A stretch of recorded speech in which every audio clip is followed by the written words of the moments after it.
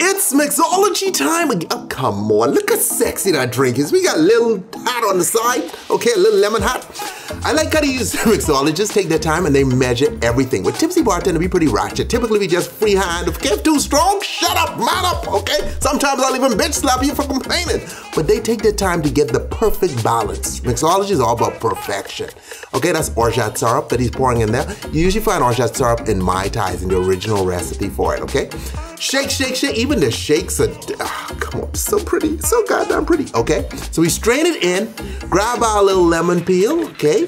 Get it around the rim, get that nice flavor going, put our little hat to the side, okay, like we walking down the street. And there you have it. An Army Navy, did he jump? A little bit. All right, homeboy, okay? Okay, something new, okay? Mixologists, have you all started doing this yet? No, right?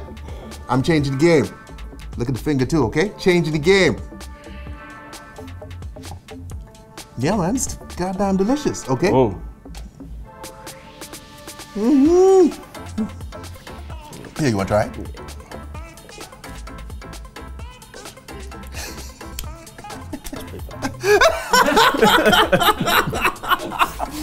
you see how you did that? Yeah, yeah, I'm the shit, yeah. Mhm. I'm Jesus, yeah. Listen, so check out my boy Brian, okay? Go follow him on Instagram, man. Check out his drinks. He's doing legit, man. You know what I mean? I stop on Jesus Christ. I quit drinking. All right, fuck it, just a little bit. Okay, I'm done. Never drink it again. Stay tipsy.